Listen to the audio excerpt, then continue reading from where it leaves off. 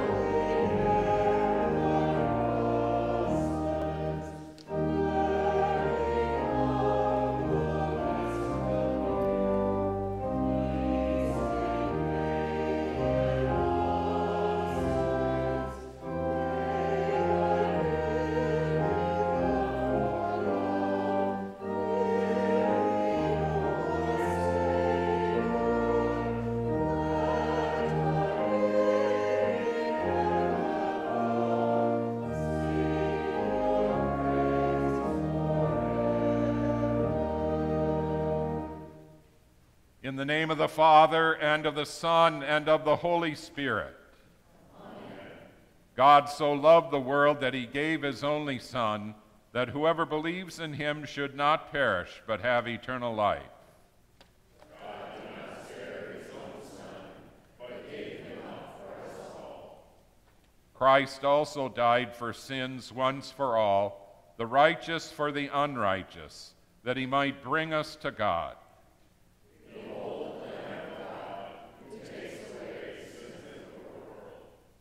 Almighty God, graciously behold your family, for whom our Lord Jesus Christ was willing to be betrayed and delivered into the hands of sinful men to suffer death upon the cross. Through the same Jesus Christ, your Son, our Lord, who lives and reigns with you in the Holy Spirit, one God, now and forever. Amen. The scripture reading is from the 52nd and 53rd chapters of Isaiah. Behold, my servant shall act wisely, he shall be high and lifted up, and shall be exalted. As many were astonished at you, his appearance was so marred beyond human semblance, and his form beyond that of the children of mankind, so shall he sprinkle many nations. Kings shall shut their mouths because of him, for that which has not been told them they see, and that which they have not heard they understand. Who has believed what he has heard from us, and to whom has the arm of the Lord been revealed? For he grew up before him like a young plant, and like a root out of dry ground. He had no form or majesty that we should look at him and no beauty that we should desire him. He was despised and rejected by men, a man of sorrows and acquainted with grief. And as one from whom men hide their faces, he was despised, and we esteemed him not. Surely he has borne our griefs and carried our sorrows, yet we esteemed him stricken, smitten by God, and afflicted. But he was pierced for our transgressions, he was crushed for our iniquities. Upon him was the chastisement that brought us peace, and with his wounds we are healed. All we like sheep have gone astray. We have turned every one to his own way, and the Lord has laid on him the iniquity of us all. He was oppressed and he was afflicted, yet he opened not his mouth like a lamb that is led to the slaughter, and like a sheep that before it shears is silent, so he opened not his mouth. By oppression and judgment he was taken away. And as for his generation, who considered that he was cut off from out of the land of the living, stricken for the transgression of my people? And they made his grave with the wicked, and with a rich man in his death although he had done no violence. And there was no deceit in his mouth. Yet it was the will of the Lord to crush him. He has put him to grief. When his soul makes an offering for guilt, he shall see his offspring. He shall prolong his days. The will of the Lord shall prosper in his hand. Out of the anguish of his soul he shall see and be satisfied. By his knowledge shall the righteous one, my servant, make many to be accounted righteous, and he shall bear their iniquities. Therefore I will divide him a portion with the many, and he shall divide the spoil with the strong, because he poured out his soul to death and was numbered with the transgressors. Yet he bore the sin of many and makes intercession for the transgressors. This is the word of the Lord.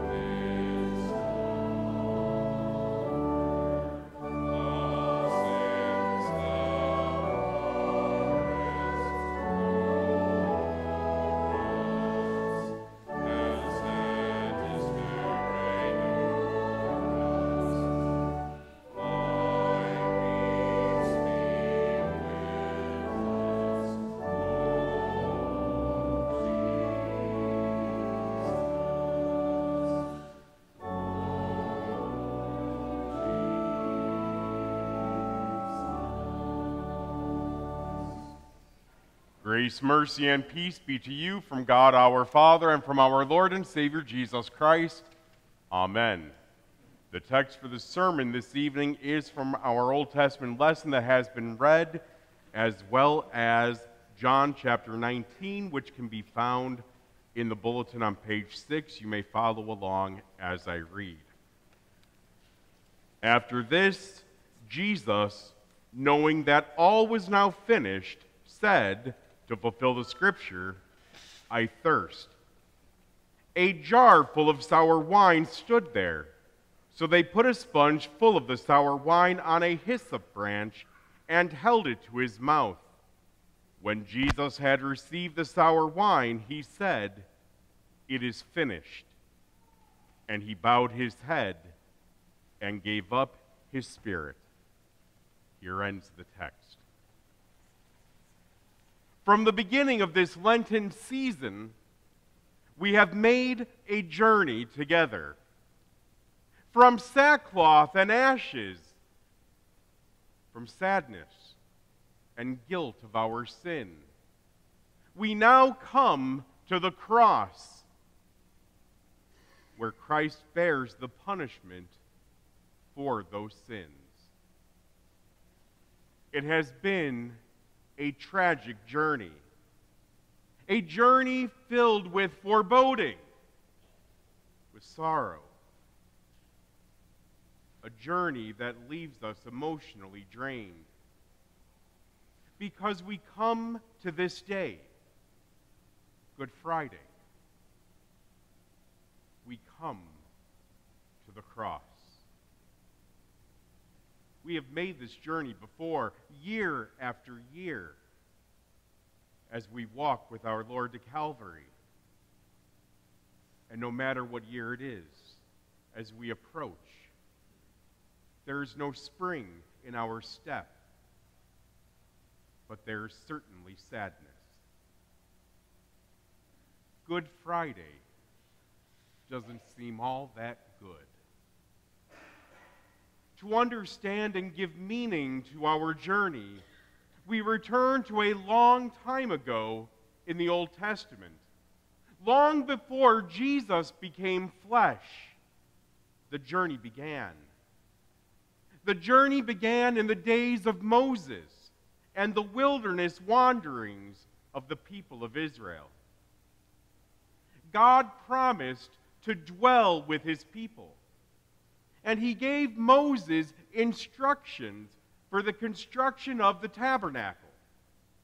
There in the most holy place, God made his throne room, his throne room on earth, so that he would truly be present with his people. But God's presence had its drawbacks and difficulties. How can the unholy sinful people of Israel dwell in the presence of the Holy One of Israel? How can the unworthy be in the presence of the righteous one? How can man be face to face with a holy God? And to add terror to this reality, fire came forth from the altar of the tabernacle and consumed the sons of Aaron. Nadab and Abihu, who offered unholy fire, and they died. How can anyone stand in the presence of the Holy One? The people were terrified. But God, who wishes to dwell with his people, established a way for himself to dwell among the unholy. The Lord instituted the Day of Atonement. One day of the year, celebrated year after year for hundreds of years. The high priest was to go into the most holy place. One day a year, year after year, the high priest took the blood of a goat behind the curtain and placed it on the mercy seat of God to atone for the sin of the people of God. Thus, the people of God were cleansed of their sin, and they could dwell with God without fear. However, on the Day of Atonement, there was not just one goat, there were two goats. One goat was sacrificed, and the blood was poured out in the most holy place. The other goat was the sin bearer, the scapegoat. God instructed Moses to have the high priest place his hands on the head of the second goat, the live goat, and transfer the sins of the people to it. Then the high priest was to have the goat sent out, led out into the wilderness, back to Satan, back to the father of sin. All of the sins of the people were carried away by the sin bearing goat. Two goats. One which was the sacrifice to wash away the sins of the people with its blood, and the other which bore the sins of all the people back to Satan. In our journey to the cross, we learn that Jesus is the fulfillment of both of these goats. Jesus Christ is both the sacrifice and the sin bearer. Isaiah tells us that Jesus bore our sins and carried our sorrows. He who knew no sin became sin for us, as he took upon himself the sins of the world. In his baptism, Jesus took up all the sins and carried them to the wilderness of Satan. He did battle with the evil one in the wilderness. But that was only the beginning of his sin bearing journey. Christ's journey as our sin bearer continued throughout his earthly journey, all the way to the cross. Christ carried all of our sins to Calvary and here we see him lifted up. And when we look upon that tree, what do we see? We should see our sin. For he has carried them to this hill. We should see the one who became our sin hanging naked as our shame is uncovered. We should see the sin bearer carrying our sin but we also see that he is the other goat as well. Jesus is the sacrificial goat who is stricken, smitten by God, and afflicted for us. He is the one whose blood is shed for you for the forgiveness of sins. Despised and rejected by men, a man of sorrows and acquainted with grief, and as one from whom men hide their faces. He was despised, and we esteemed him not. But he was pierced for our transgressions, he was crushed for our iniquities. Upon him was the chastisement that brought us peace. And with his wounds, we are healed.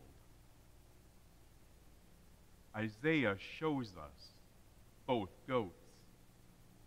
Isaiah shows and points to Christ.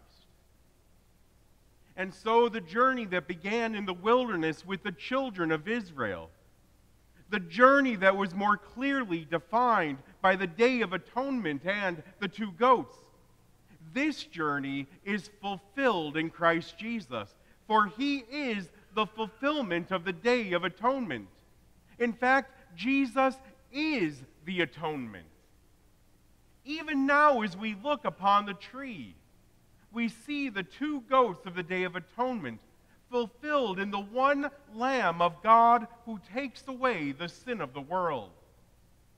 The sin bearer is raised high and lifted up upon the tree. The blood of the sacrifice is sprinkled upon all the nations. Christ Jesus pours out his blood to atone for the sins of mankind. The Lamb without blemish or spot cleanses us from every spot and stain of sin. It is our sin that has brought the precious Lamb of God to the cross, our sin. For where else could the sin bearer go with our sin than to the cross? It is our guilt and shame that Jesus reveals upon the tree of the cross. And then he atones. He pays the price. And we are redeemed. All we, like sheep, have gone astray. We have turned every one of us to his own way. And the Lord has laid upon him the iniquity of us all. Jesus bore that sin. He shed his blood, and he declared, It is finished. When our Lord and Savior hung his head in death, an amazing thing happened. The sky went dark, and the earth shook rock split, and the curtain of the temple, the barrier of the Most High, tore in two from top to bottom. The most holy place was revealed. Jesus took his very own blood through the curtain into the most holy place and poured it on God's mercy seat. Indeed, it is finished. And we are atoned for. The greatest and last high priest has gone into the most holy place, not with the blood of a goat, but with his own blood. And this blood cleanses and brings atonement to the world once and for all. It is finished. The journey that began so long ago has come to the cross, and it is finished. The instrument of torture and death has become a life giving tree, as Christ Jesus has paid the price of our sin. His death and his blood atone for you. And so it is this day. In its tragedy, it is truly a good Friday. For your sins have been forgiven. You have been made perfect. Salvation has been won. Amen. Now may the peace of God, which passes all human understanding, keep your hearts and minds in Christ Jesus, our Lord and Savior. Amen we continue with the offering.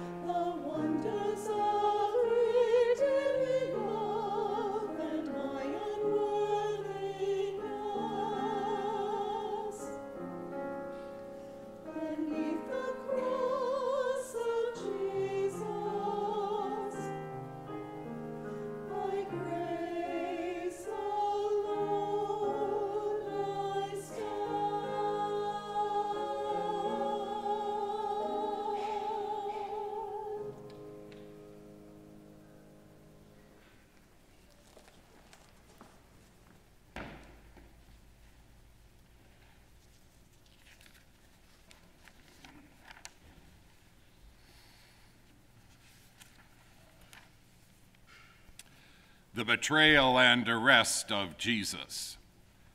When Jesus had spoken these words, he went out with his disciples across the brook Kidron, where there was a garden which he and his disciples entered. Now, Judas, who betrayed him, also knew of the place, for Jesus often met there with his disciples. So Judas, having procured a band of soldiers and some officers from the chief priests and the Pharisees, went there with lanterns and torches and weapons. Then Jesus, knowing all that would happen to him, came forward and said to them, Whom do you seek? They answered him, Jesus of Nazareth. Jesus said to them, I am he. Judas, who betrayed him, was standing with them when Jesus said to them, I am he.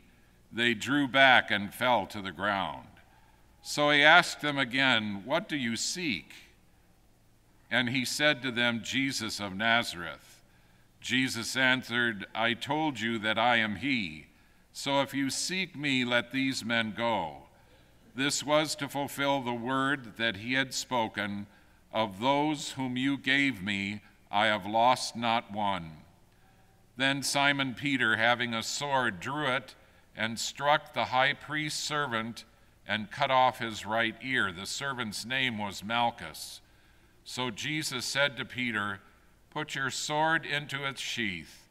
Shall I not drink the cup that the Father has given me?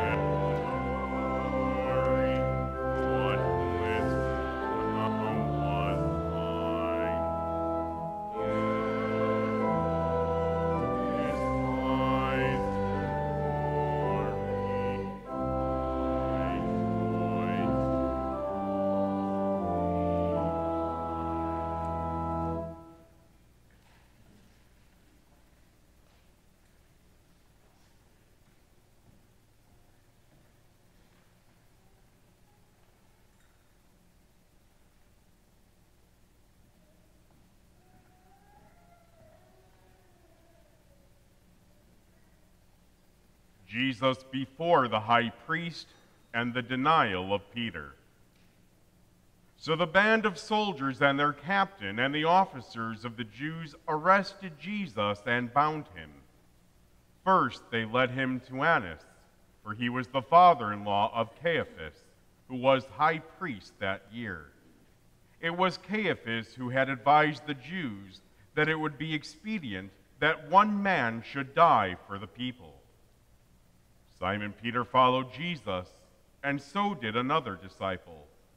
Since that disciple was known to the high priest, he entered with Jesus into the courtyard of the high priest. But Peter stood outside at the door. So the other disciple, who was known to the high priest, went out and spoke to the servant girl who kept watch at the door and brought Peter in. The servant girl at the door said to Peter, You also are not one of this man's disciples, are you? He said, I am not. Now the servants and officers had made a charcoal fire because it was cold, and they were standing and warming themselves. Peter also was with them, standing and warming himself. The high priest then questioned Jesus about his disciples and his teaching. Jesus answered him, I have spoken openly to the world. I have always taught in synagogues and in the temple, where all Jews come together. I have said nothing in secret. Why do you ask me? Ask those who have heard me what I said to them. They know what I said. When he had said these things, one of the officers standing by struck Jesus with his hand, saying, Is that how you answer the high priest? Jesus answered him, If what I said is wrong, bear witness about the wrong. But if what I said is right, why do you strike me? Annas then sent him bound to Caiaphas the high priest. Now Simon Peter was standing and warming himself. So they said to him, You also are not one of his disciples, are you? He denied it and said, I am not. One of the servants of the high priest, a relative of the man whose ear Peter had cut off, asked, Did I not see you in the garden with him? Peter again denied it, and at once a rooster crowed.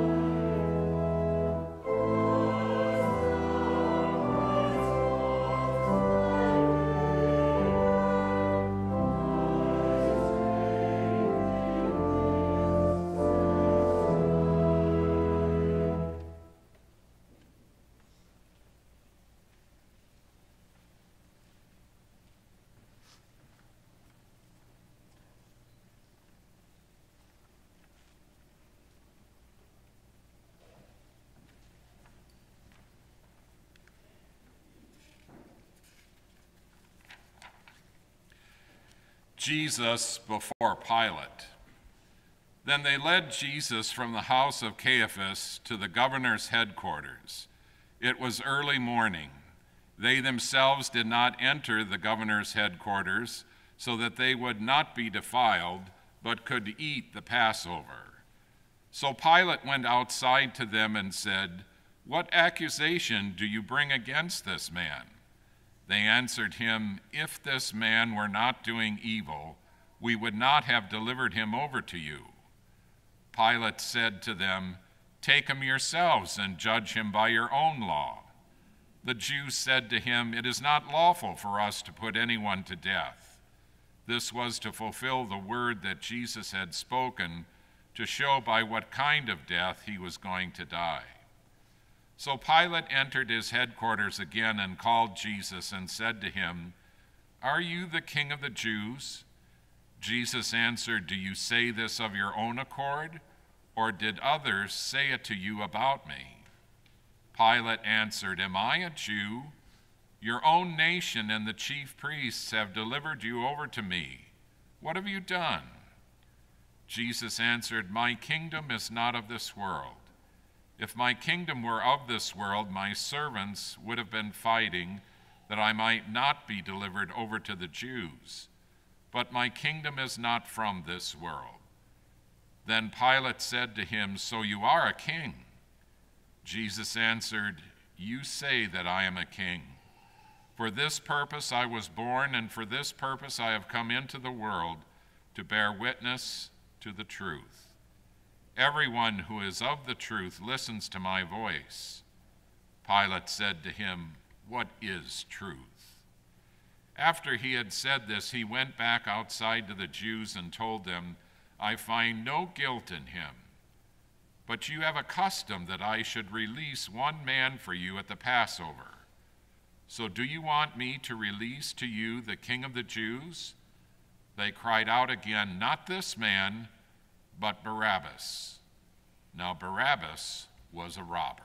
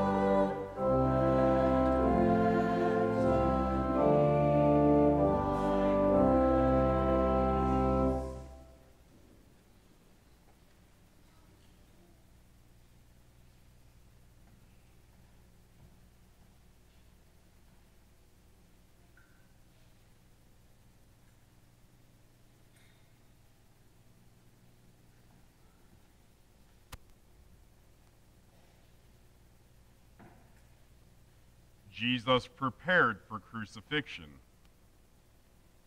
Then Pilate took Jesus and flogged him, and the soldiers twisted together a crown of thorns and put it on his head, and arrayed him in a purple robe. They came up to him, saying, Hail, King of the Jews! and struck him with their hands. Pilate went out again and said to them, See, I am bringing him out to you, that you may know that I find no guilt in him. So Jesus came out, wearing the crown of thorns and the purple robe. Pilate said to them, Behold the man. When the chief priests and the officers saw him, they cried out, Crucify him! Crucify him! Pilate said to them, Take him yourselves and crucify him, for I find no guilt in him. The Jews answered him, We have a law, and according to that law, he ought to die because he has made himself the Son of God. When Pilate heard this statement, he was even more afraid. He entered his headquarters again and said to Jesus, Where are you from? But Jesus gave him no answer. So Pilate said to him, You will not speak to me? Do you not know that I have authority to release you and authority to crucify you? Jesus answered him, You would have no authority over me at all unless it had been given you from above. Therefore, he who delivered me over to you has the greater sin. From then on, Pilate sought to release him. But the Jews cried out, If you release this man, you are not Caesar's friend. Everyone who makes himself a king opposes Caesar. So when Pilate heard these words, he brought Jesus out and sat down on the judgment seat at a place called the Stone Pavement, and in Aramaic, Gabbatha. Now it was the day of preparation of the Passover. It was about the sixth hour. He said to the Jews, Behold your king. They cried out, Away with him! Away with him! Crucify him! Pilate said to them, Shall I crucify your king? The chief priests answered, We have no king but Caesar. So he delivered him over to them to be crucified.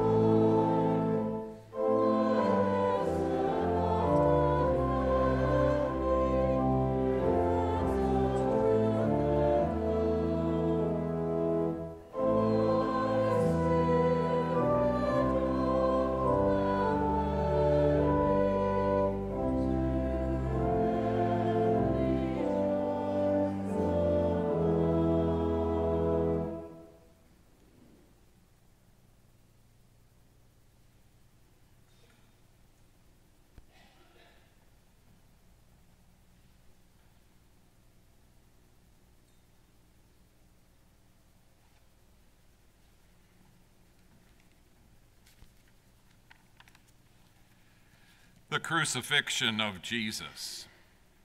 So they took Jesus, and he went out bearing his own cross to the place called the place of a skull, which in Aramaic is called Golgotha. There they crucified him, and with him two others, one on either side, and Jesus between them. Pilate also wrote an inscription and put it on the cross it read, Jesus of Nazareth, the King of the Jews. Many of the Jews read this inscription, for the place where Jesus was crucified was near the city, and it was written in Aramaic in Latin and in Greek. So the chief priests of the Jews said to Pilate, Do not write, the King of the Jews, but rather, this man said, I am King of the Jews. Pilate answered, What I have written, I have written. When the soldiers had crucified Jesus, they took his garments and divided them into four parts, one part for each soldier, also his tunic. But the tunic was seamless, woven in one piece from top to bottom. So they said to one another, Let us not tear it, but cast lots for it to see whose it shall be. This was to fulfill the scripture which says, They divided my garments among them and for my clothing they cast lots. So the soldiers did these things.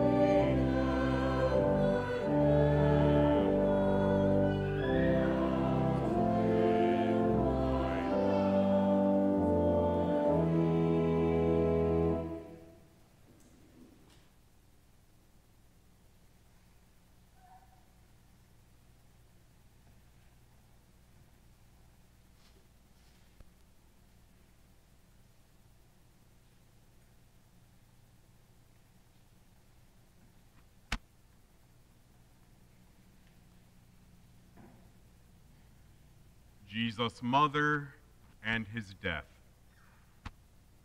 But standing by the cross of Jesus were his mother and his mother's sister, Mary, the wife of Clopas, and Mary Magdalene. When Jesus saw his mother and the disciple whom he loved standing nearby, he said to his mother, Woman, behold your son.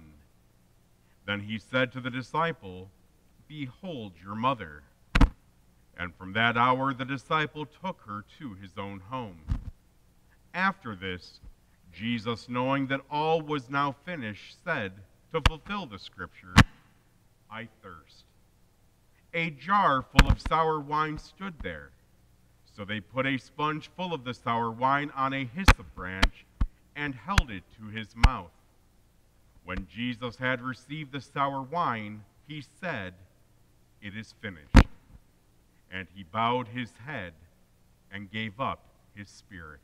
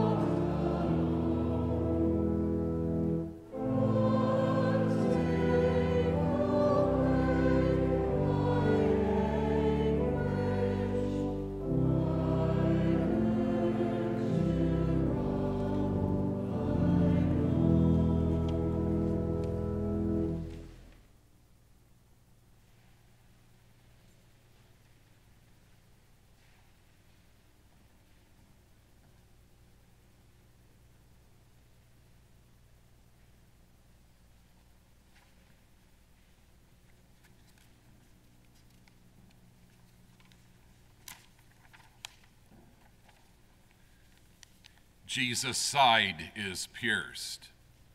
Since it was the day of preparation, and so that the bodies would not remain on the cross on the Sabbath, for that Sabbath was a high day, the Jews asked Pilate that their legs might be broken and they might be taken away. So the soldiers came and broke the legs of the first and of the other who had been crucified with him. But when they came to Jesus and saw that he was already dead, they did not break his legs. But one of the soldiers pierced his side with a spear, and at once there came out blood and water.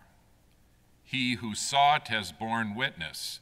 His testimony is true, and he knows that he is telling the truth, that you also may believe. For these things took place that the scripture might be fulfilled. Not one of his bones will be broken. And again, another scripture says, They will look on him whom they have pierced. After these things, Joseph of Arimathea, who was a disciple of Jesus, but secretly for fear of the Jews, asked Pilate that he might take away the body of Jesus. And Pilate gave him permission. So he came and took away his body. Nicodemus also, who earlier had come to Jesus by night, came bringing a mixture of myrrh and aloes, about 75 pounds in weight. So they took the body of Jesus and bound it in linen cloths with the spices, as the burial custom of the Jews. Now, in the place where he was crucified, there was a garden, and in the garden a new tomb in which no one had yet been laid. So, because of the Jewish day of preparation, since the tomb was close at hand, they laid Jesus there.